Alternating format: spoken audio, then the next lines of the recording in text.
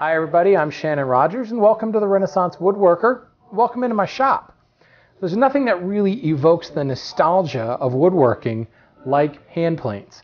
And with just incredible popularity in hand tool woodworking, there's a lot of people wanting to, quote, get into hand tools. And hand planes is usually the first place they turn. We've all seen the video of, of the guy taking these whisper thin shavings and they just glide out of the plane and you know they float off into the air and there's this just no sound but just the snick snick of the plane and it, it's it's exciting and people get very very passionate about it. And we all you know have heard so many good things about hand planes that we all want to give it a shot. The problem is it's kind of a difficult subject to get into when you don't know much about it. Laying here in front of me is a whole mess of hand planes. This is not even all the ones i have I've got more on the counter behind me. I've even got more in my tool cabinet right now. Hand planes can be really intimidating, mainly because there's so many to choose from. It gets to be a little confusing. What's going to work best for you? I think in order to understand that, we need to have a good feel for what hand planes do. How, what, what different tasks are they good at? There was a, a term popularized by Christopher Schwarz in one of his older videos called coarse, medium, and fine. And that idea is that you take a really rough plane, you use it for the majority of your work, removing most of your waste. You move to a more medium plane and you focus on flattening and refining the surface. Then you move to a fine plane and you prep the, fi- the surface for finish. Well, that's highly accurate and that is a, a phenomenal way to approach it.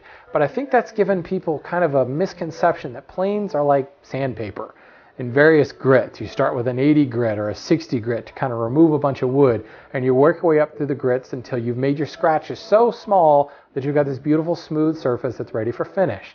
It's not really what hand planes are about. And I think because of that, we're finding people that are buying, you know, one of every plane, or they're buying a five, a six, an eight, you know, a bunch of other joiner planes, and they may not even exactly know what they're for. We all know, or hopefully we all know, that hand planes are used to flatten surfaces. Essentially, the hand plane is nothing more than a chisel that's held at a fixed angle. The sole along the bottom provides a reference surface, so that chisel can reference off this flat surface of the sole and make your workpiece flat as well. Well, there are different ways to shape irons. The different lengths of the planes can mean different things. The, diff- the way the plane is positioned in the sole, how tight the mouth is, the, the angle of the blade, the angle of the bevel on the blade, all can play so many different factors in determining what that particular plane excels at. Then you move on to joinery planes that are highly specialized and focused on specific types of joints. It's not so much about flattening surfaces, although joinery planes still do that well. It's about re- precision, getting a surface to the exact thickness you need to fit a tenon into a joint. There is an enormous amount of planes. So it's so easy to get confused. Let's take a step back and let's examine kind of what the planes do as it relates to a project in your shop. And then it'll help you determine what planes do I need when getting started with hand planes. So let's assume that you don't have any hand planes at all. Now you're wondering where to start. Well, this is a question that's probably been asked um, thousands of times, and there's probably a thousand different answers. Everyone seems to have a different opinion. What I want you to think about is the type of work that you do.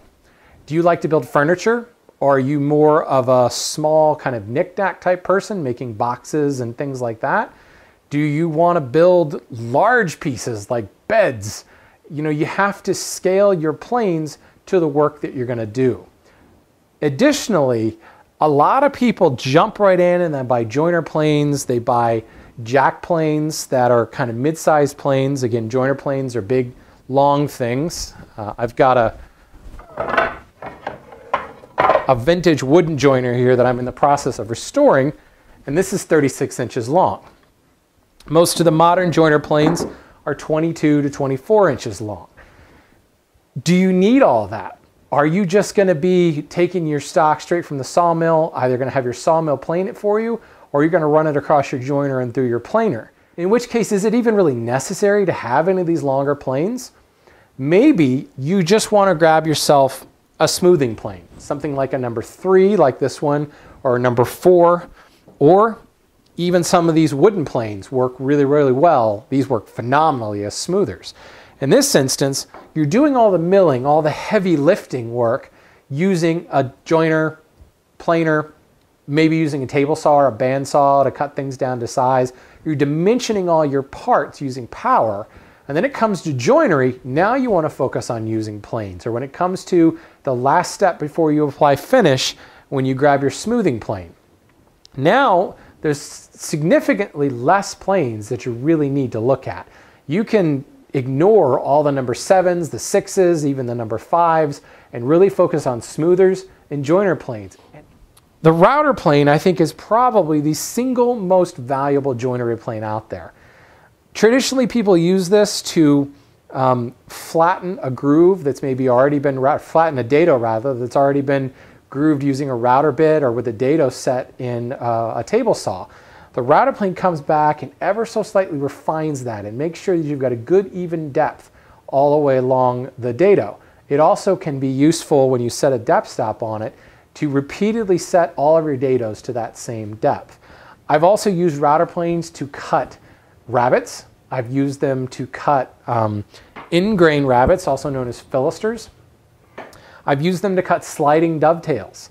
There's so many different things you can do with a router plane that I think that this is probably one of the first planes that you should think about buying. Rather than getting so focused on learning how to mill by hand and how to flatten boards exactly using joiner planes and jack planes and fore planes and scrub planes, let your machines do the work. You know, this is going to sound weird from a guy who runs an entity called the Hand Tool School, but I think too many people jump into the bench planes and they get frustrated because A, it's a heck of a lot of work. B, there's kind of a learning curve there and it really slows you down. And for the weekend woodworker who's trying to churn out projects, who's got, you know, a, a spouse who's saying, hey, where's that coffee table you promised me? Getting the work done faster is probably a better idea.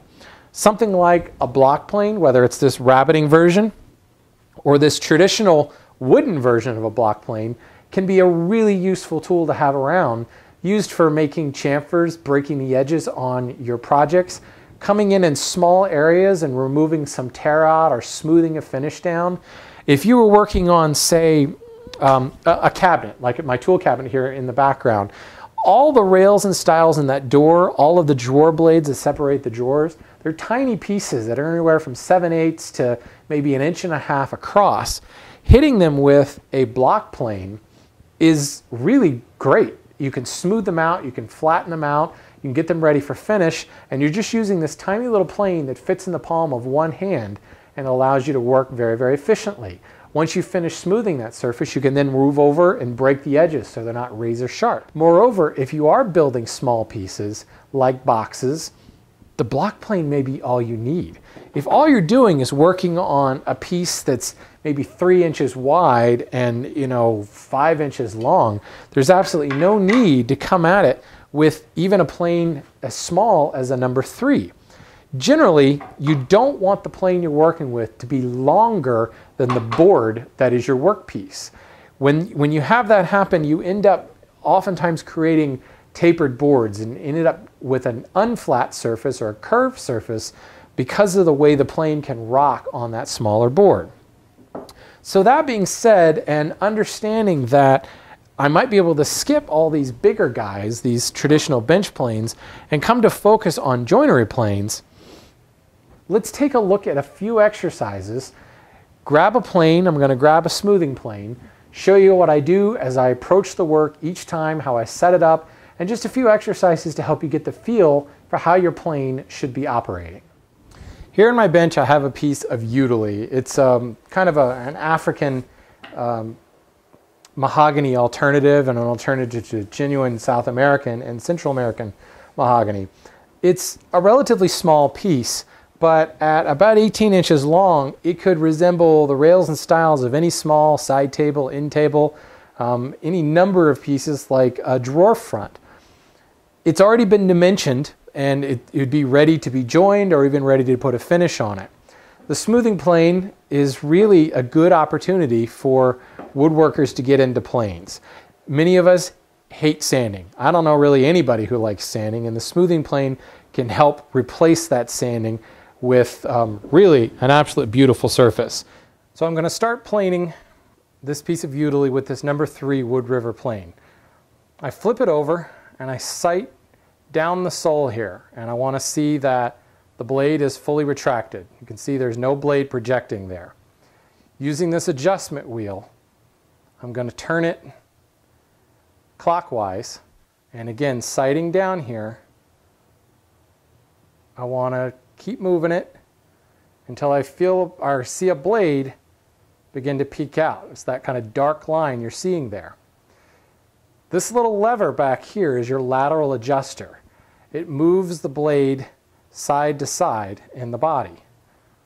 So as I sight down here, I can see that I've got just a little bit more blade poking up on this side.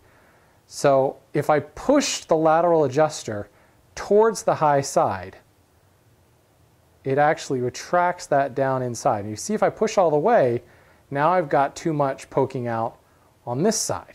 So I'll move the lateral adjuster back this direction.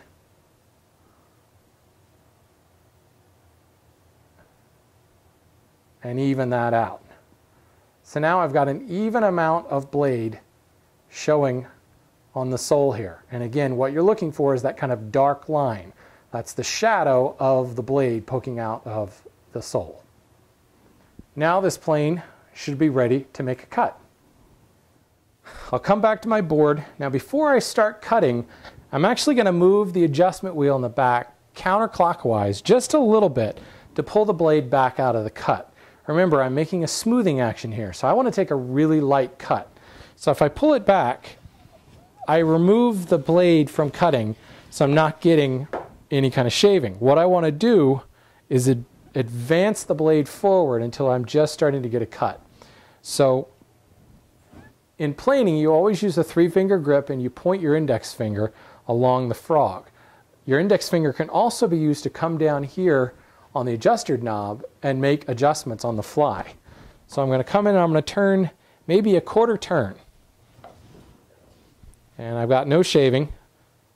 So go another quarter turn, and now I've got a little bit of a shaving coming out.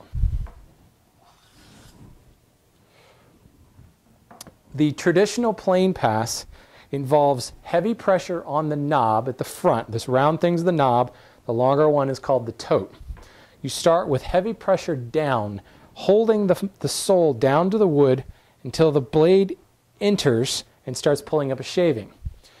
Once you get the middle of the, or rather, once you get the tote onto the board, I transfer my weight so that I've got good even pressure with both hands holding the plane down to the work. As the knob draws near the end of the board, I really want to take all of my pressure off that knob, and sometimes you can even remove your hand and finish up the cut with all the pressure on the back side.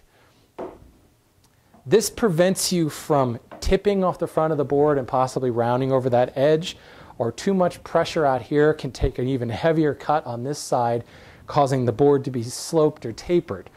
The, what I've traditionally found is if you try to scoop out the middle of the board, you'll end up making it flat. The way the sole is flat like this, it's impossible to actually scoop out the middle. But by that scooping action, what it essentially does, it causes you to put more pressure on the downside of the scoop and less pressure on the upside of the scoop with your knob hand. And that basically mimics the same idea of heavy pressure on the front, even pressure in the middle, and no pressure on the end of the stroke. It's the same idea as scooping. Now, as you get started in smoothing a board, you may find that you're not getting a shaving all the way across.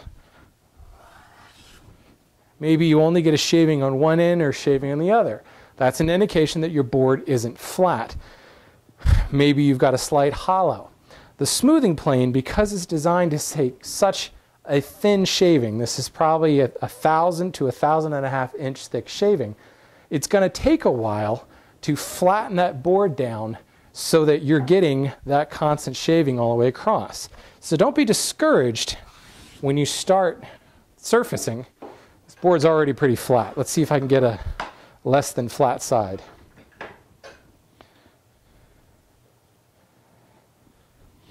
So if you start out and you don't get a shaving all the way across, like I am here, I'm getting a shaving right on this end and right on this end. The initial reaction is to try to take a deeper cut. It must not be cutting, I got to take a deeper cut. A deeper cut will result in a full length shaving because now the board doesn't have to be flat to within a thousandth of an inch in order to get that thousandth of an inch shaving. But on difficult woods, you can end up tearing things out more when you try to take too heavy of a shaving. If you continue to make passes, you will start to get more and more of a shaving. This time I got about three inches into the board. I felt nothing in the middle and I got about three inches from the end. So I've got two distinct shavings that came out. If you keep working your way across the board, you will start to get shavings the full length.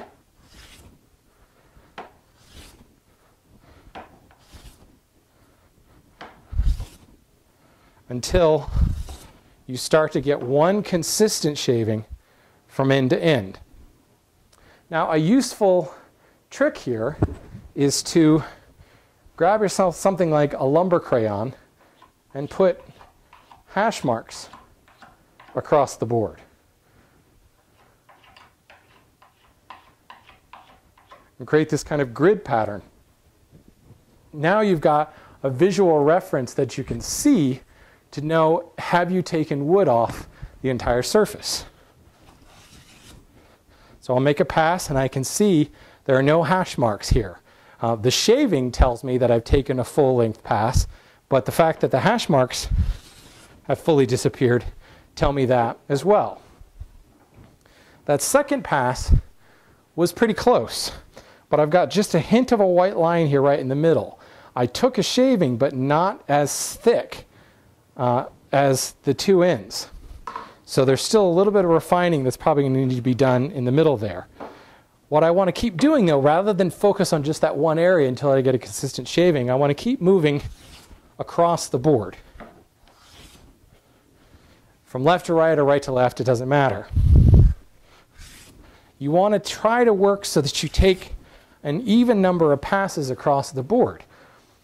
Now that I've gone all the way across the board and back, hopefully you can see, I've got just a little bit, it's a better light on this, I've got a little bit of X mark right in the center and right here that hasn't been removed. The rest of it's been taken off and I've got a really just incredibly smooth and shiny surface here. So now what I'm going to do, I just worked from right to left. I'm going to go from left to right back across the board. Again, taking passes side by side, slightly overlapping your passes. Working my way back across.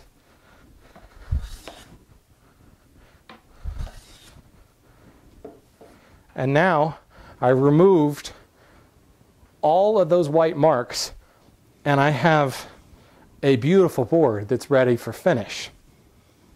It feels so smooth and wonderful. And the, the grain really pops out now because I haven't abraded the surface. Sandpaper scratches the surface. This removes a consistent thickness of wood and literally just planes it off the surface. So you get a much cleaner, more vibrant look at the grain. So as you're getting started, I recommend taking your board, running it through a joiner and planer, or having your lumber yard do it for you. Grab something like a smoothing plane, grab a lumber crayon or any old crayon, and just continue to make hash marks across the board like this. This will really tell you where you're planing and where you're not planing. You know, and feel free to make them as dense as you want.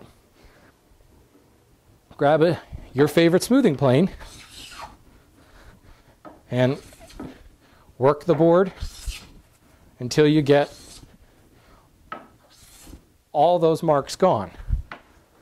So I think just grabbing something like a smoother, it's a smaller plane, a little bit easier to handle, starting with a smaller board and just making those plane passes each time, coloring it back in with uh, a crayon to see where you've planed and where you haven't, will really get a feel, give you a feel for how your body pressure is causing the plane to react. And it will, in a very kind of non threatening way, introduce you to hand planes and how much fun they can be to work with. Starting small with a single hand plane and a couple of exercises on a board really will open up the world of hand planes to you and get you excited about making thin, wispy shavings.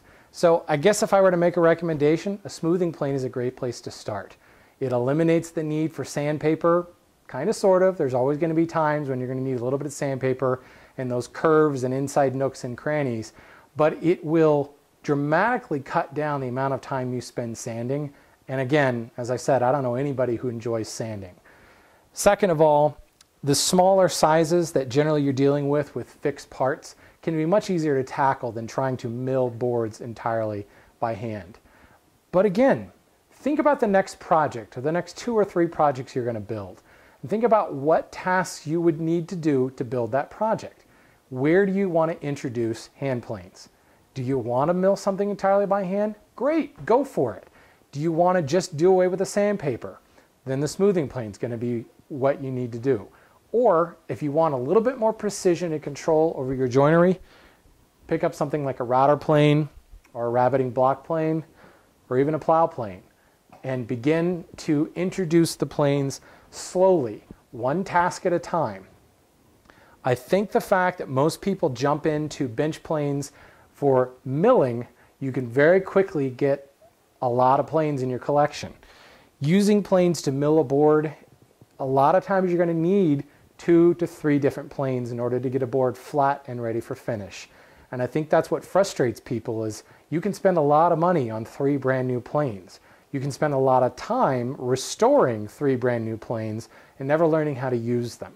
The principles that you learn to smooth a board to get it ready for finish will prepare you to flatten a board, to thickness a board, or to even cut a rabbet in a board. It's the same principles no matter what you do. And this way, you get stunningly beautiful grain, you get fun wispy shavings to play with, and you get a board that you can apply finish to and be really proud that you created that surface entirely by hand. So, as I said at the outset, there is so much to talk about in getting started with hand planes. The key is just get started. Introduce them slowly, pick the right plane for your work, how you can augment one aspect of your next, next project. My recommendation, go the smoothing plane. You'll have a lot of fun.